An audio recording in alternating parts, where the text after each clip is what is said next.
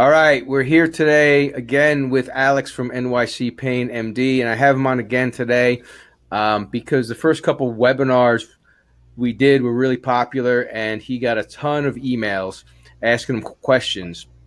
And everybody seems to know that NYC Pain MD does a lot of work with knees, knee arthritis, and they're doing gel injections, stem cell, um, the nerve, you know, they're doing a whole whole bunch of stuff there, and he got a lot a lot of questions. So first of all, he's going to give you his email so that if you guys have questions, you can send them to him, and then we're going to get get into this stuff. Um, the first question is: Do you guys do hips, shoulders, and ankles also? Right. And okay. Alex too. Um, let me introduce you too. I, I kind of forgot here. He's the the new patient coordinator for NYC Pain MD. He's he's not a treating doctor there, but but he's in charge of the new patients education, and and he really really gets everything to run straight there. So here he is. Yeah. Hey Brad, thanks for having me on again. And uh, yeah, we had I had a lot of emails. I know you kind of summarized some of them coming in. We had a lot a lot of emails, and let me give that email right now to the listeners. So if after listening to this or even during you want to email a question in, I don't know if we'll have time to get to them, you know, during the webinar. Uh, email me at the following email. It's Alex, A L E X, at NYC hyphen pain MD. That's Alex at NYC dash pain, P A I N M D, like medical doctor dot com. Alex at NYC dash pain MD. Email whatever you think is on your mind. Um, we'll probably get a lot of emails, so I'm not sure if we'll specifically be able to talk about that. But if we don't, I can try to email you back personally, you know, during the week, and then maybe we can address some of these topics. But what we're going to go over today is a, a kind of common thread of questions that we got over the past few weeks, and I think it'll be a kind of common to a lot of the listeners. Yeah, so let's let's start out. the The first one you seem to be getting a lot of is, is do do you do hips, shoulders, ankles, and other joints too? Right. Well, uh, the answer to that is yes. A true arthritis really seems to batter knees. Uh, so it's a very popular program. But we do have a constant flow of patients asking for pain relief programs for the hip, uh, which gets highly arthritic. And it's a very difficult joint to treat. As you let it get on and on because the change of that ball and the ball and socket bone area can change shape. And when that gets too compressed and it's clunking around, there's not much we can do. So that joint you got to get on early. But ankles are getting uh, more and more with athletes and runners and those type of folks. And shoulders are, are also very common. So yes, we do treat all those things. Some of the procedures that we talked about, the visco supplementation, nerve blocks, uh, stem cells, those can all be applied. And of course, those are all doctor decisions on, on what to do for those. Um, and, and similarly, we, uh, we, we do special precision arthritis targeting, you know, most of the time, 99% of the time with those other areas as well. And we do have a back pain program. And I know, Brad, you asked me to put together a program for that. It's a little beyond what we'll talk about today, but uh, we do a lot of spines. We introduced a regenerative stem cell and PRP program for that, as well as some of the standard things that are done for pain as well. So the yeah, you guys are really you guys are, are cutting edge stuff. You know, you're you know we're talking about the, the the visco supplementation or or the gel injections, but you guys you know are doing a lot of stuff there. The stem cell, the PRP, and all, all that stuff too. Yeah, you yeah. Know? There's a really uh, we may have talked about it last time, but uh, there was this big popular article that came out about Jack Nicklaus, the famous, maybe one of the greatest golfers of all time, who went all the way to Germany to have some stem cell procedures for his facet syndrome in his back. and, uh, you know, we've been doing a lot of that stuff right here in the States, right in New York. And uh, you don't have to go all the way to Germany to get, uh, you know, basically the same technology. But I think that's a whole several hours of discussion that we could do, uh, you know, and we'll, we'll put together another program on that. Yeah, it's it's it's great stuff, and and as you mentioned, you guys are doing back pain too, which is mm-hmm. great. Um, here's a question that that that you're getting a lot. Um, um, there's people, a lot of them. It seems that they've gotten the gel injections elsewhere, and it didn't work for them because these things are, are you know, they're really starting to get popular. Um, what do you guys do that's that's that's different that's getting that's getting results for this type of patient who's been elsewhere and has tried other things and has actually tried the visco supplementation, the gel injections, and it didn't work for them. How how do you guys how do you guys getting getting the getting the results? Yeah, I noticed a, a lot of those questions. Uh, people had heard about you know the way we do our procedures, or it just made so much common sense to them that the gel should work, and they went and it didn't work. So and they're a little frustrated. And these are people absolutely don't want to have surgery. You know, surgery does uh, is laced with all sorts of side effects that I'm not sure people understand. It's not like popping a Lego toy together.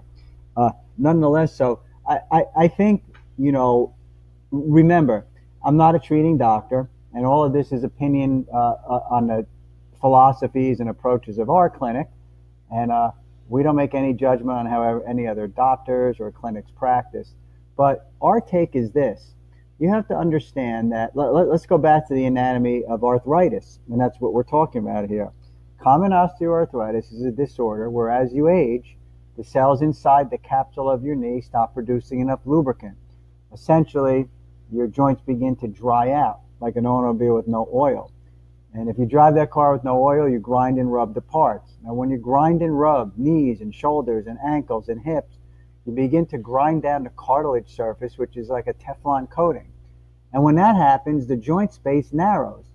The vast majority of patients that come in to see us have been arthritic for years, and by the time they come in, they're at least stage three, if not stage four arthritis, and that's called the Kellgren Lawrence scale. And when you get that arthritic, the joint space narrows considerably. So you might have 50% to 90% of the joint space gone. So that's a rather tiny space that's left. And of course, that's why you're hurting because you feel the grinding, the clicking, it inflames as the joints rub together.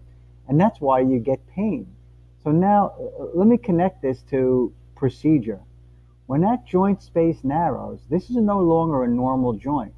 And in order to access that joint space, um, if you go in there, if you go into a shoulder, a knee, the hip is really tough, the ankle, you cannot possibly hit the target each and every time uh, if you go in there without medical technology.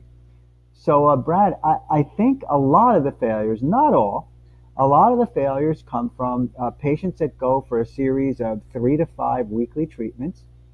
And maybe a well intended doctor just feels that area and plops the, the joint in, a feeling that he may have gotten the medicine into the target. So, just a quick, you know, uh, layman's kind of story on uh, precision. Think about uh, if you were an archery expert. Let's say you're Robin Hood. Do you want to shoot at that target with a blindfold on, or do you want to have the best visualization possible? You don't want it to be foggy out. You don't want to have a blindfold on. You don't want someone to spin you around. You want pure visualization. And now in the medical world, um, uh, you know, we have technology that makes accuracy of applying medicines to very arthritic joints and tiny spaces that are left for us to treat. We have technology that makes it 99.999% accurate. So uh, this is what we think is the biggest culprit in, when, when visco supplementation fails. Um, and so what has to be done we, we call our technique precision arthritis targeting, but you have to use a special machine called fluoroscopic imaging. Uh, Brad, fluoroscopic imaging is a very advanced technique, and these machines are very expensive.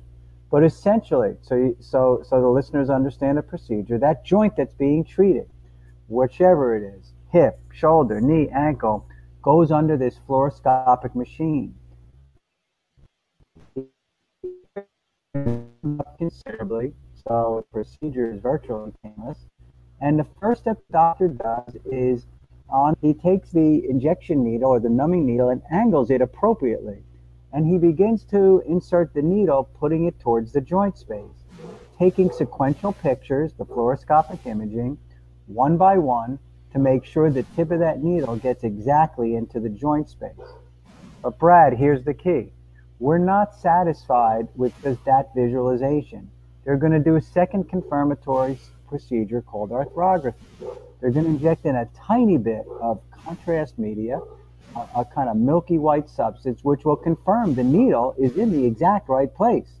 If it's not, Brad, they're going to pull it back out, re-angle it, and redo the arthrography until they are absolutely 100% convinced, double dog sure, that that is exactly where it needs to be. At that point, and only at that point, will they change a syringe inject in the chosen lubrication or medicine. But the third confirmation is the medicine should dilute the contrast media. So essentially, it's a triple confirmation of the accuracy. I cannot tell you how important this is because the research, and I'll pull up some of it, I have it on my desktop here, uh, indicates that at least one out of three in the knee will miss the joint space. Interestingly, the, the non-fluoroscopically guided injection of the other joints, well, your accuracy gets even worse. The shoulder is very difficult. The hip is almost impossible to hit accurately without imaging, and the ankle as well. So if you went somewhere, to get back, circle back to the question, I didn't get good results. What can you do different that might make it work better? Because this all makes sense to me. Is the starting point is you must have a precise application of the medicine. If you're on a three to five treatment series and you miss one or two of those, the outcomes may be limited to absolutely none at all. And this is a major factor. Again, we don't understand why doctors don't all use this technique, but they don't. I mean, the machines are very expensive, the utilization of them are expensive, the maintenance, but at NYC Pain MD, we just don't spare any expense because we know the, the uh, failure rate could be much higher without doing this. So that's an absolute. And if you had treatment without fluoroscopic imaging, and I don't think ultrasound is even nearly as good because it doesn't triple confirm, then there's a good chance that's the reason. So if you ever came and saw us and we decided to take your case on, uh, everything would be applied with the fluoroscopy and our technique, which we use the moniker precision arthritis targeting. So, so I, that sums that up. But I'll, while you ask your next question, I'm going to pull up a little uh, little research here too for you. Yeah, and it's my understanding too that you guys have had quite a few patients come in that have, that have had had visco supplementation, the gel injections elsewhere, and it didn't work. And they they either listened to you talk or somehow they found out that you guys are, are doing this di differently, and they've come in and they've and they've gotten the results. Um, and and and a big factor here definitely could be the fact that you know you guys you guys are using um, imaging so you can make sure the gel gets into the joint correct? Exact exactly. So um, you know if you had treatment without imaging um, and we decided to take on your case keep in mind brad we can't guarantee that that will give you a fantastic result. What we can guarantee is that if you don't have imaging, we can almost guarantee your results will be at best tepid, but maybe none at all. But we can guarantee that that medicine, which can be, you know, not inexpensive, will get exactly to where it needs to be. We can also guarantee that if you don't get the medicine where it needs to be, you're not going to get, get the best short, medium, and long term result. And if you don't, what the shame of it is, Patients feel that it does, it may, they may have had blind procedures. The treatment didn't work and they end up having a major surgery uh, at a great expense and a much higher medical risk. So imagine having to end up in surgery when you could have avoided the whole darn thing to start. And so, yeah, uh, and, and, and I've kind of heard sometimes some doctors discuss and they debate this. And I've heard some guys say that they've done this for a long time and they don't they don't need the imaging because they're really good at it. Um, and then some others say that that um, you know the percentages that they miss really aren't that high. Well, what do you say about that? Um, about let's say let let's let's say they have a ninety seven percent success rate when they could have had one hundred. You know what I mean? Right, right. Well, the best study on knees was done by um, quite a while ago by a doctor named Douglas Jackson, and he found their most experienced injector. Uh, and again, I, I believe, and I'm I'm pretty 99% sure that they did this treatment, they did this study rather with normal knees that were wide open, that still they the best injector they had was only 93% accurate. So Brad, that means in 7% of the cases he completely missed the space. So think about this. If you were going to get brain surgery, wouldn't you like the neurosurgeon to be 100% accurate? Uh, any procedure, you want it 100% accurate. And, and, and why this is disturbing in the medical world is that we have this technology that can make you 100% accurate. Why wouldn't you use it? So we don't accept you. We don't accept 93%. We don't accept 97. We want 100% accuracy. Again, just to qualify this, that doesn't mean we'll have a successful outcome. It just means we have the best chance of having a successful outcome. And also, yes, we've had many patients that have come and had blind treatments. And when they get it done what we believe the correct way, they do much better. I had a call just the other day, a lovely woman coming all the way. She's going to bring her husband in, I think, next week. Uh, she uh, brought her husband a couple years ago, and she had he had ended up having some blind procedures with very limited results. They had heard about her clinic. Interestingly, she told me about her mother-in-law who went to a clinic where they actually did the fluoroscopic imaging, who's 30 years older than her husband and did fantastic with the procedure. Uh, so, uh, you know, it, we can't understate the importance of precision. Every medical procedure with the technologies of, with the technology available, it, you know, it, it should be utilized. Now, I'm not really making a, a judgment about the other doctors. We just believe that this is the right way to do it, so we continue to do it and have pretty good success rate overall.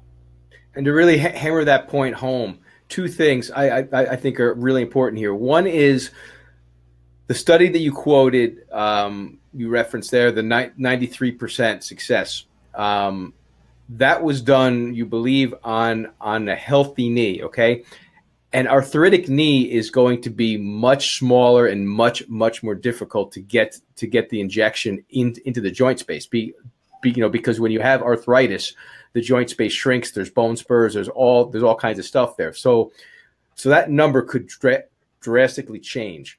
The other thing is e even if it is the same percentage um, that's 7% miss rate per injection correct? So if if you're getting five five of these injections, the chances are going to go up because because the miss is seven percent per injection. So as you're getting treatments, there's a higher a higher percentage that one of these treatments or two of these treatments might miss. You know, um, and if it takes if it takes five to get to get optimal optimal results, um, there's a lot of people out there who didn't get optimal results. Period. Correct. So if you're missing one out of five treatments, you're missing 20% of the medicine getting there. If you miss uh, two out of five, you're missing 40%. So how could you possibly uh, get the um, get get the get the accuracy? Here's yeah, we don't have we we don't have a study. I don't think about injecting accuracy in arthritic knees. Um, we have the you have the one that says seven a seven percent miss rate, and we believe it's a you know a, a, a good health, healthy knee. Um, but I can guarantee that that that rate is much higher than that mm-hmm. arthritic knees. You know, right, right, right. So there's a couple of good articles on shoulders, and uh, uh, I kind of put together a research packet. So anyone wants just some stuff on accuracy, we have a whole potpourri of articles and um, uh, studies that uh, indicate, um, you know, all this inaccuracy issue. Here's one from the Annals of Orthopedics of Trauma and Rehabilitation, and he says uh, considerable inaccuracy of joint puncture using surface anatomical landmarks alone without uh, imaging uh, is notified is noticed. A larger studies have shown comparable rates of ankle and knee joint penetration using surface anatomy without imaging uh, is inaccurate, and we therefore suggest a role of imaging for routine, in this case, ankle injection to be performed in a clinical setting. And they do not, overall, in their uh, uh, review, uh, suggest injecting without imaging, um, et cetera, et cetera, et cetera. And they go on to talk about a lot of uh, complex medical terms here. Uh, there's shoulder articles that indicate the shoulder can be up to 60% inaccurate without the imaging. Uh, the knee, uh, 33, 40% at best, uh, 7% inaccurate. So there is just no way um, any doc can consistently get the medicine in the joint space without proper imaging. Um, and that is the problem with all of this. Uh, yeah, and, and I mean the real point point of it is, um, if they were ninety nine percent accurate without it, if you can be one hundred, uh, that's you have you have a duty to to your patients and to your art, a doctor, to do these things to the best ability and to give the patient the best they can possibly get, get the imaging and do it do it the best possible way. Be if you can be 100% and you can you can watch the injection and you can see the medicine the gels going into the joint versus mi- missing the joint and you know it's in there. Like you said, um, you can't guarantee that getting the gel into that person's joint is going to fix the problem or alleviate their pain or whatever. But you can at least guarantee that you're going to get the medicine into the joint so that if it's going to work for them, it's go they've got a shot at it. Correct? Right. Correct. Here, here's an interesting article, and uh, this was written by uh, Dr. Daley, Dr. Bajaj, Dr. Bisson, Dr. Cole, all out of the Chicago, Illinois. And so let me get to this part. This is very interesting. So uh, it, they're talking about the knee and a total of 660 joints injected they said without imaging, the accuracy rate was only 79%. But Brad, this is blows your mind. But it ranged from 40% inaccurate up to 79%, meaning uh, 40% of the time they might have hit the joint space, 60% of the time they missed. The best they could do is 79% accuracy without imaging. But when they used the imaging, they were 99 plus percent accurate. So you can see and these are there's study that supports this uh, this premise. And I, I don't think we know that without imaging, your inject your consistent targeting and precision and hitting that target is going to be inaccurate. And we know we have technology that can make it accurate. And we know that if we're accurate, our series of procedures should be theoretically and in practice, we find much more effective for the patient. And in the end run, keep more people to seriously delay or help them avoid surgery to that joint or get off meds or opioids or whatever it is they were trying before. So it cannot yeah. be understood. And it, you know, it, it, like it almost seems like we're, we're beating a dead horse here over and over again with this accuracy accuracy stuff. But man, if you're the one with with with the knee pain and you can't go upstairs, you you you can't go for walks, you can't play with your grandkids. You, you know you're in you're in pain every single day, and you're going to spend some money. Um, you're going to spend some time. You have to go through this procedure. Uh, it's it's paramount that it's done to the best possible way. Um, and if you're the one fa- facing this, the difference between not 97% and 100% or 99.9%, whatever it is, because you know there's always going to be some human error there, of course. But um, that's a huge thing to you know. If this was me, and I had that choice, I'm definitely going to take this choice where the, where I you know we can sit there and you can and you can look at that screen and you can actually see the medicine going in into the joint. It's really really cool. Right. You know, um, described right in the in the initial discussion. We're we're watching that medicine go into the joint space. If you can't see that, you don't know if you delivered to where it was supposed to go. Yeah, yeah. I mean, it's it's it's unbelievable stuff, and you know the patient should be able to you know to see it. If they went somewhere and and um, there was you know this stuff was done, you know, it's it's it's it's called blind a lot of times, right. but without the imaging, um, and it didn't work, you, you I think you owe it to yourself to give it another shot, or at least at least go and see you guys and and and get a screening and you guys can say, hey, you know, um, um, this was, you know, th- this was done blind. Um, we think a candidate for for this procedure. Let's give it a shot and make sure the medicine goes in there, right. and see, and and, and, and then we can really see if this is going to work for you or not. Right, right. Here's a fantastic, uh, fantastically interesting study, and then we could wrap up this discussion.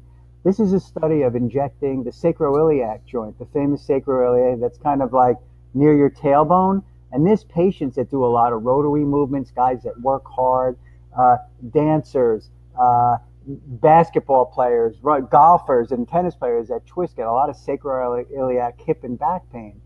In this study, they found that when you go in blind to that area, only 12% of the medicine gets to the joint. That means it's almost a 90% miss rate without imaging. So I, you know, I think that, you know, we rest our case on this accuracy issue. So if anyone has any questions on this, if you haven't had it done with imaging, it might be appropriate to reconsider and try again. Uh, it might not. And, uh, you know, we always talk about it. We do have a fantastic special program that patients love. Uh, if they call the office and Brad's going to put a number up, you can come in for a no cost, no obligation evaluation to see if we can help. Um, there's no obligation. You can proceed exactly how you want. But, uh, you know, if, if this sounds like something in your history that uh, might be part of it, um, you can call that number anytime and you can schedule this no cost screening and uh, see if we can help you. Yeah, it's really great stuff, and and I mean, like I said, you know, you can sit there and you can watch the medicine go into the joint and everything, and it's really really cool.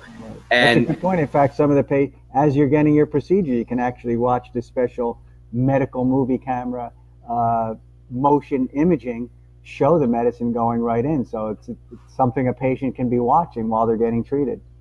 Yeah, it's great. And and once again, thanks for com- coming on again today. I, I know you're getting a ton of uh, questions, and you know, send them over to him. Um, email him. He'll answer them. We'll get back to you. We'll do another webinar next week um, maybe some questions again. We're gonna we're gonna really talk about some more of the procedures and and so more of the more of the conditions NYC Pain MD treats because um, they're really they're you know they're really doing some cutting edge work there.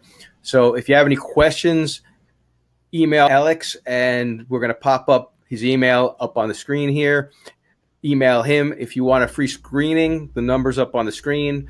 Give them a call. He'll set it up for you. Ask for Alex. Um, he'll get you in, and and he'll find out, and you know he'll get you together with with with a doctor, and they can and they can work your case and tell you um, if you're a candidate for one of the treatments or not. Correct? Good Anything enough. else to say? Yeah, I, one question is there was one a more minor question that came in a little bit about viscosupplementation in back pain. So he, here's the, the deal with that.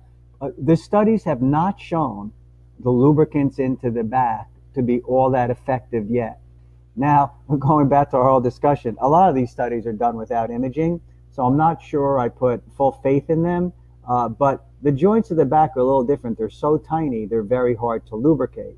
We are finding, though, not only standard procedures for joint arthritis in the back, but applications of platelet rich plasma, and stem cells, which we're just starting to introduce into practice, uh, are starting to show some very, very, very promising results. So, so these are things you can talk about uh, and think about as well. Um, get online and look at the article on stem cells and Jack Nicklaus because uh, he had a fantastic result and supposedly he swung a golf club some 10 million times. So, so the Visco for the back pain we have not found successful, but there are many, many other techniques where we're keeping a lot of people out of surgery and, and they're, they're doing a lot better overall. So yeah, our webinar our webinar last week was on back pain and stem cell and Jack Nicholson, um, Nicklaus. Sorry, right. a Nicholson's a Joker, right? right. he played the Joker, but right. the golfer and uh, and how he had tremendous tremendous success with with that. So um, you can look up that webinar too. Um, and uh, all right, so it's here's the number again. If anyone wants a screening, it's it's 100% free, no obligation. Um, you can come in and find out if NYC Pain MD can help you. Uh, thanks for coming on again, and uh, pleasure. We'll talk to you next next week. Thank you, Brad.